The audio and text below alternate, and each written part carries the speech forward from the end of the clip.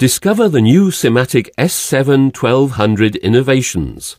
This podcast provides an overview of aligning, distributing, and sizing objects on the Simatic HMI screen. During your initial design, you can place the objects you need on the screen and arrange them later. Suppose you have three tanks and temperature indicators that you want lined up by their tops, and data fields that you want lined up on their left. You just multi-select the objects, right-click, and select the type of alignment you need. Note that the alignment is relative to the first object you select. Or you can use the alignment buttons on the toolbar to perform the alignment that you need.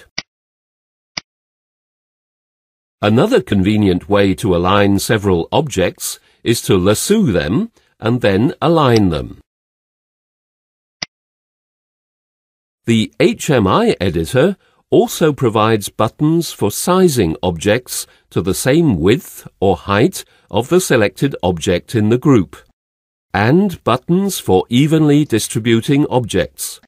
Let's distribute the data fields vertically and the tanks horizontally.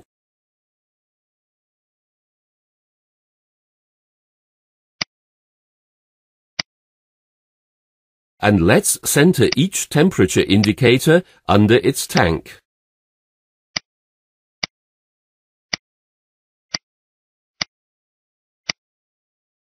Finally, let's make all of the data fields the same width.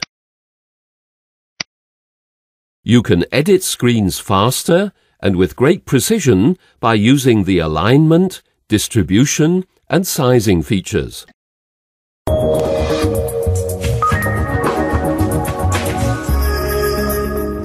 Additional information is provided on our website.